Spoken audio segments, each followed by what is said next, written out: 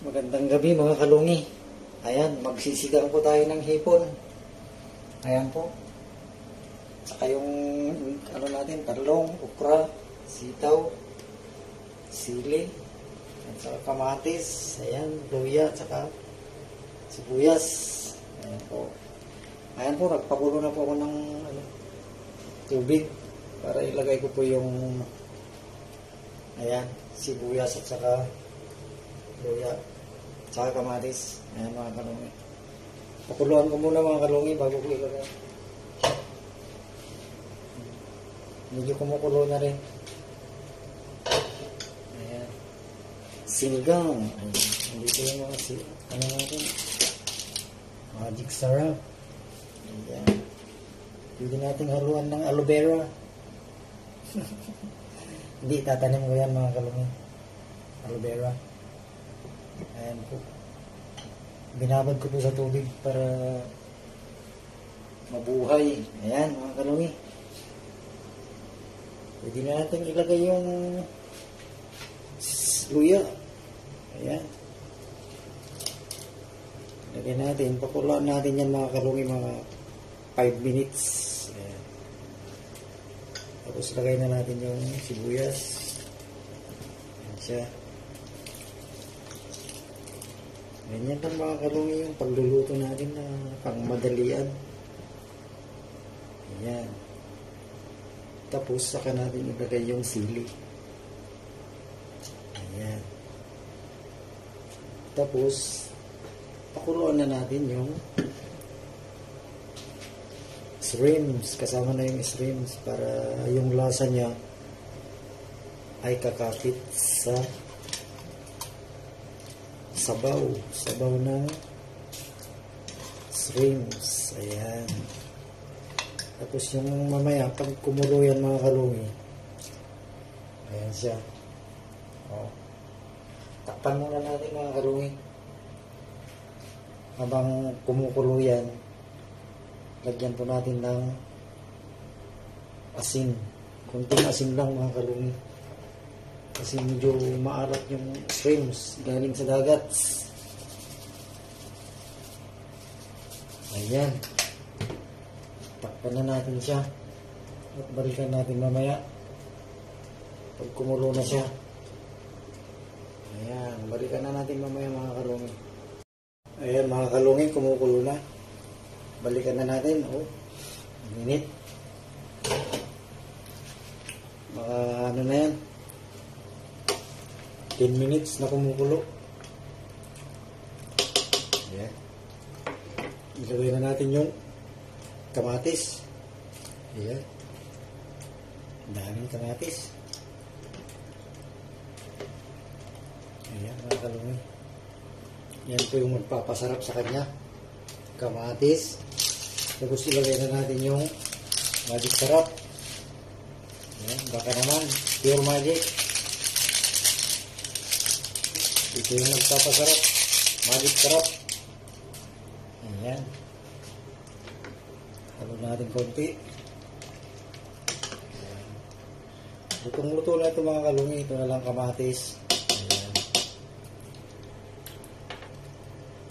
Mamaya na natin tikman. Ayan. Tikman natin kung tumama ba yung ano sarap niya.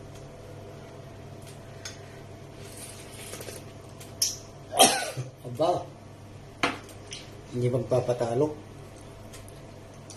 Kulang tayo sa asin. Sarap talaga mga kalungi. Ayan, tama na. Ayan mga kalungi. Pakuluan natin yung kamatis, saka natin ilagay yung mga gulay. Ito. Ayan. Mas marami yung ano natin, yung okra.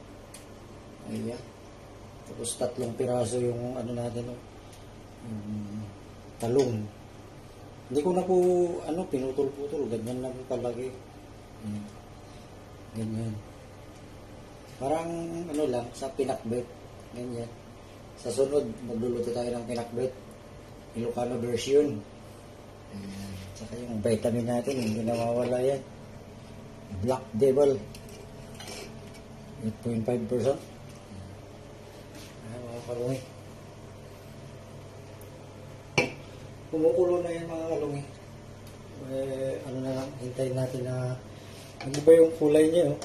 Nagiging ano siya. Kasi yung parang itlog ng shrimps, ito. Yan. Hindi ko biniyak yung sili kasi medyo maanghang. Maanghang yung klaseng ano nito. Limang piraso. Ayan, tingnan nyo. Parang hindi pa luto yung ano, kamatis natin. Ayan. Antabayanan natin mga kalungi. Ayan. Habang tayo ay hindi ko maano eh. Mababa yung ano ko. subukan natin na ano, ilagay sa ayan. Ayan siya. Hindi na kikita natin na kumukulo eh. Ayan. Kumukulo na yung mga kabungi pinagpapawisan ako kasi walang dito sa kusina. Mainit. Napakainit pa sa labas. 43 yung ano. 43 degree Fahrenheit. Pero at least nakikita mga kalungi di ba? Pag medyo maluto na yung ano mga kalungi, kawatis, yan. Ilalagay na natin ng malupit na okra, talong at saka sitaw. Sinigang na hipon.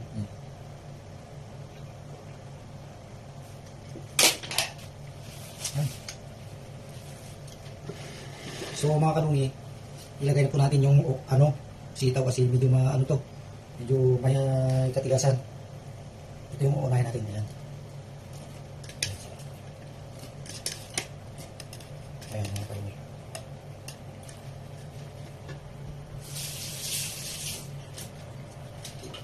30,000 kasi yan eh. Kaya ito yung una natin ilalagay. Pero magsasabay din sila yan. Hindi ko na patatakpan. Kaya na po. Pero mas maganda po yung takpan natin para medyo maluto siya ng maayos. Diba? Wala na yung liwa. Eh, ko nandun sa taas. Hindi ko makahanap. Sige lang mga kalungin. Sinigang na hipons. Hipon, isisigang ko na si hipons. Yung hipons. Mas maganda kasi mga kalungi pag nagsigang ka, mas marami yung okra. Kasi yung okra, ano yan? Maganda sa katawan. Oh. Ito hindi naman niluluto masyado ito, half cook lang. Half cook lang yan, pati yung okra. Yung makagat mo siya, Uh, so, okay na siya pag nakagat mo siya ng. Yung hindi masyadong niluto. Mas masarap pag ano naman overcook. Hindi masarap. Ayan. So, pwede na natin ihalo yung ano mga kanungi. Ano, hindi masyadong makita eh. Ayan siya. Hindi ko na tinakpan. Ayan. Ayan talaga. Okay na. Pero yung kalan ko dun sa kabila. Si- Nasira na, hindi iinit masyado.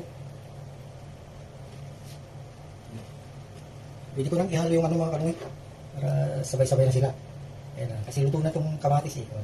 Pag luto na yung kamatis, ibig sabihin yan, ihalo na natin to Okra. Ayan. Daming okra. Alam niyo po yung makukuha natin sa okra. Ayan. Ito po ay pampababa ng blood sugar. O ito.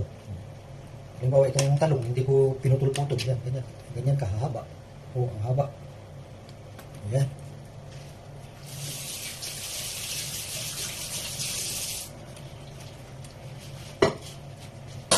Is some data there on first floor, bro. Oh, First floor. what happened? There is data there. Ready? Mm. Kaliwali to, no problem. Yung gwardiya dito, sabi niya may dumi daw sa first floor. Sabi ko, kaliwali. Yun yung right, ano ni Cebu. Yun yung hindi nagpapasok sa amin dito. Kailangan niya ng marriage contract. Ano siya? Abu Dhabi government. Sabi ko, eh, UAE is a free country. Why you're not us? Sino siya?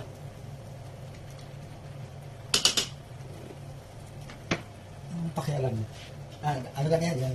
Oh, takpan natin konti. Para nakikita naman, di ba? Para kumulo siya. Nakikita. Oh. Pagkatapos niyan, ang ilalagay natin yung sinigang. Ayan. Ano yan? Magaling gusto sa akin. Bago pa lang. Pag kumulo yan mga kalungi, ibig sabihin yan, ilalagay na natin yung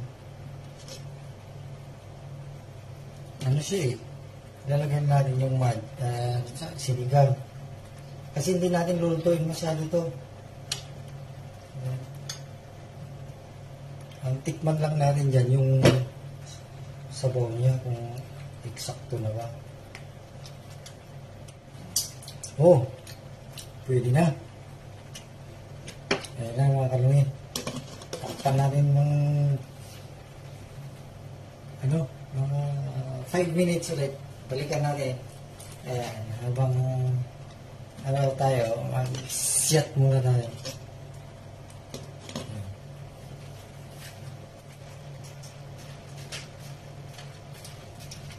Ayan, mga kalungi, kumulo na. Lagyan na natin yung sinigang.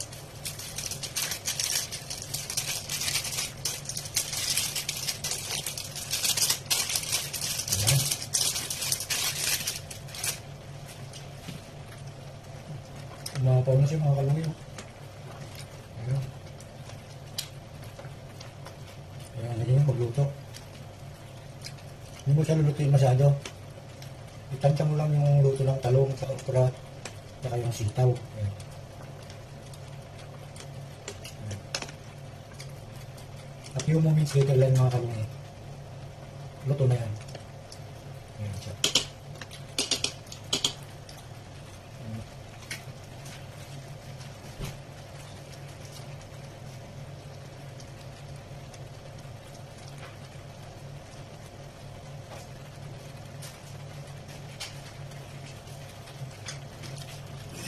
Ayan siya.